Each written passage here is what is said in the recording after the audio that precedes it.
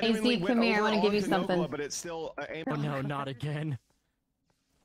Okay, what's the keyword? The key the keyword is um um your horns. I'll talk about your horns. Keyword is I am horny. Okay.